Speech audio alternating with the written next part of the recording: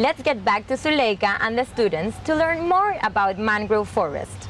Please tell us about the special features of mangrove forests. Thank you, Adriana. Mangroves are special trees that are found only in estuaries and coastal areas in tropical and subtropical regions. They provide habitat to a large variety of fish and wildlife. Mangroves are the only trees capable of thriving in salt water. They have special adaptations that allow them to live in places like here in Panama Bay. We have been taking a look at these features.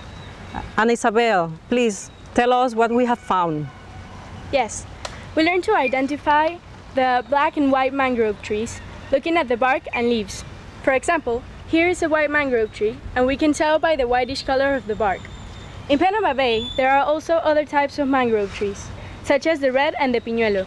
Also, we had a close look at the adaptations these trees have to be able to survive in flooding, low oxygen, and salty conditions. Adaptations vary among the mangrove tree species. Thank you, Ana Isabel. Now, let's go to uh, Astrid and Charlie. They are going to tell us how they did to, uh, how the mangroves do to deal with salt and the flooding. Tell us, Astrid. To cope with salt, for example, the white mangrove has two, two glands on the base of their Oh, leaves yes. to secrete salt out of the plant.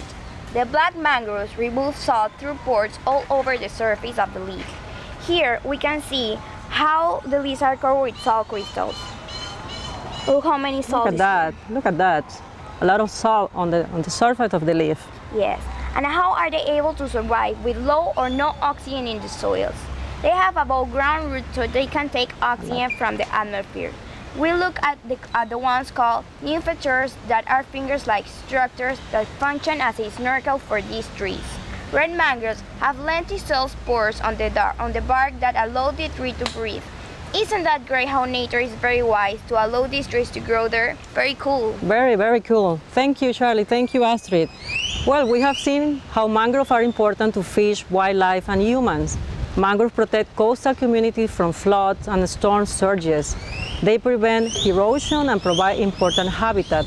However, these coastal habitats has historically been developed extensively for humans for different types of farming, commercial and agricultural uses, and human settlement. The clearing of mangroves is a major factor behind mangrove laws around the world. It is important to protect mangroves to maintain these areas' incredible biodiversity as well as to, as to protect coastal inhabitants from damage from storms. Without mangrove, many species of fish and wildlife would not be able to survive.